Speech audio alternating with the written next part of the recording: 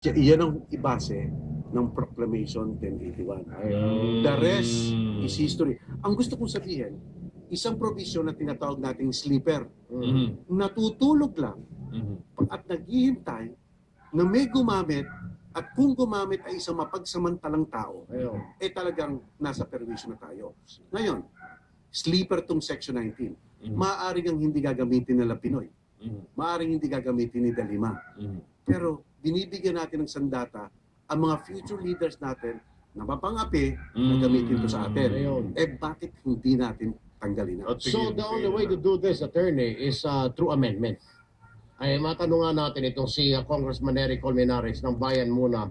Attorney, uh, Congressman Colmenares, magandang umaga po, sir. I don't think anybody will argue ng presidente at pat- pati ng mga mambata babatas na pumirma nito na may political backlash. Aha. Ang mga registered voter nung si Pinoy ay naging presidente, Mhm. 50 million. Ang bumoto, around 30 million. Mhm. Ang Facebook users sa Pilipinas, according to Facebook, Mhm. is 23 million. Sus Mario. Sus Mario. Other social media, Twitter. Twitter lahat, Aha. 33 million. Yan naman na, yun na. So, ibig sabihin, at pwede rin natin sabihin, na ang kalahati nito ay mga minor de edad, hindi pa boboto. Okay. Pero ang mga minor de edad, meron rin Mhm. capacity to change the pattern of voting ng kanilang mga parents. Mga magulang, of course. Diba? Siyempre, nag, nag, nag, Ah. ah, dati sino ba itong si ano? Si Ontiveros na to. Mhm. Ganyan, di ba? Ah, ah. Mukhang atang hindi magaling, mukhang Mhm. magaling. So, Mhm. nakaka-apekto. Mhm. So, ibig sabihin ko, ito ang hindi nila nakita. Mhm. Kaya ano mo nakikita natin ngayon? Mhm. Iba't iba ng mga kandidatong nagsasabi, ay, oo nga, mukha atang nagkamali. Mm. Magpapile ako ng bill kaagad para Mm. amyendahan niya. Si Cheese mismo nag-sorry. Ako si Senator Angara. Mm. Ito yung tinatawag namin junior edition eh, yung anak niya. Mm. Ang, tuma- ang tumatakbo ngayon. Mm. So, nung sinabi niyang, ah, mukha ata nga may mali dito, Mm. katabi niya yung anak niya. Mm. So, nakikita na natin yung mga movements ngayon. Aha. So, so ibig sabihin, ito yung political backlash nito. Mm. Parang ang sinas- sila rin, nare-realize nila ngayon, gugunita nila, nako, itong mga netizens na to may kapangyarihan to ngayon. Aha. Ito ang bagong demographics Mm. ng election ngayon. Yan. At ito ay ito ay talagang bubunga sa ah, sa 2016. Mm. Pero matitignan ang pekto nito mag-uumpisa sa Oo. 2013. Oh, kasi meron ding ano yan eh, attorney, may ah, president din yan eh. Naalala mo yung Arab Springs? Di ba doon nag-umpisa yun? Nag-umpisa yun nung pinigil nila yung isang ah, Egyptian na ano na, na very vlogger, vlogger no? At ah, kinitil nila yung karapatan para mag-Facebook, mag-Twitter, mag yun. Kaya nag- nag-umpisa. Tuloy-tuloy na. Alam mo, nag-uumpisa na ngayon yan. Nakikita natin sa Facebook yung pag-iitim nila sa mga messages nila. Kung Mm. buksan mo, di ba? As a sign of protest. Ay, mag-iitim na rin ako. Ang mukhang lu- lumalaganap yan. Ito lang ang kaibigan ko. Sabi ko, ligay mo itim, maki- makibahagi ka. Ligay mo black. Mm. Nilagay niya si Norman Black. Hindi yan! yung black! Anyway, Anyway, uh, patawa lang yun.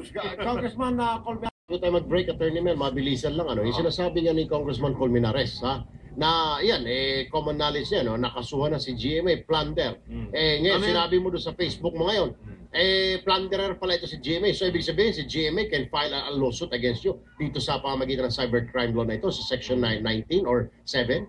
Well, walang, makapag, walang makapagpipigil sa kanya na mag-file under Section 4C4, yung Oh. libel provision. Oo. At pwede niyang sabihin kay Delima, kung kaibigan niya, Oh. na may ano yan, may prima facie, yun, paulit-ulit siya sa Facebook. Oh, pero si pero eh may warrant of arrest ka si uh, Arroyo ng plunder. Tapos sasabihin mo, plunderer si GMA. Sabihin natin, oh, isasabi mo dun sa Facebook Correct, o sa correct. Twitter.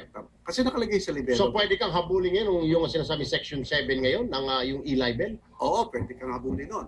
Pwede kang habulin nun. Kung talagang ang ano, ah, aabusuhin mo yung batas na yon. Okay. So, so sa ngayon, attorney, alam mo, kami ni Paring Erwin, may Mm. sinabi kami doon, broadcast, naka-live streaming, at na meron ka nag-post sa Facebook. So pwede nyo kaming kasuhan ng, dito sa, as a broadcaster, malobas sa Radyo 5, at also yung anti uh, uh, cybercrime. Hindi Ano kayo makakasuhan kasi kayo, tayo nagsasalita sa radyo at Ah. TV. Ah. Pero yung mga nag-text sa atin, Uh, yung mga gumagamit ng Facebook para eh, ipahatid sa atin ang kanilang mensahe, yun. eh paano kung, Sila yun. Eh, paano kung tinan, na nakatranscribe? Oo, yun nga. Ah, ito, hindi- well, hindi pwede. Tapos sa uh, hapon na tapos ako nagtitweet ng uh, sinasabi ko. Oo, oh, yun. Nagtitweet ka. Kasama rin yun. Kasama rin yun. Mm. Yun- yun. Kaya nga, ang sabi nga namin sa aming petition sa Korte Suprema, itong batas na ito is unconstitutionally overbroad. Hindi mo la, hindi mo alam kung saan ka titigil. Mhm. Pero kung dapat criminal law, dapat maayos. Isang basa pa lang, naintindihan mo na. Pumatay, patay. Okay? Nang nakaw, nang nakaw. Aha. Okay? So- Nag-rape, ng rape. Pero ito, ah, kasama ba yung Twitter? Pero So kawin, you, kawin. cannot, you cannot say, sir, na you can defend yourself in court. Yung sinasabing you have a day in court. So wala na rito. Dito sa section 19 na ito. You, you won't have. Tama ka Hindi ka kasi. pwede humarap sa DOJ at ipagtang may bit-bit ka kung ay, ah, bibit-bitin kita, Attorney Mel. Mm. Ito yung abogado ko, teka muna, teka muna. Wait, wait lang. Eh, wala naman akong ginawa Wala, masama. wala ka ng civil rights, pare. Oh. Wala na. Nga Is this, is this what section 19 is? Yes, that is section 19. Bago ka pa makapagtanggol sa sarili sa Mm. korte, na block na. Nako, Na-restrict na. no, no, no such thing as civil rights. Wala na, wala, Wala na. yung civil rights. Oh, wala na. Di martial law nga. Oh, baka i-martial law. Ah, kasi bakit i-martial law? Oh. Kasi pangkaraniwan, basta gusto mong lehitimong pigilin ang isang karapatan ng isang tao sa ilalim ng saligang batas, saan ka pupunta? Yun ba yung... Pupunta ka sa korte. Yun ba yung writ of habeas corpus? Pupunta ka sa korte, Aha, di ba? aha, aha. Right to travel, gusto mong Aha. kitilin, pupunta ka sa korte, Aha, di ba? Right to your freedom, gusto mong Aha. mag-bail, Mhm. pupunta ka sa korte. aha. Ito, ah, right to access to your computer, hindi ka Aha. na pupunta sa korte kasi Aha. na-block ka na. Mm. So Aha. before na maging akusado ka, Mhm, before na makapunta ka sa korte, mhm, at before na maiyak mong in depensa, mhm, block ka na, nakuha ng iyong nasa loob ng ah, mhm.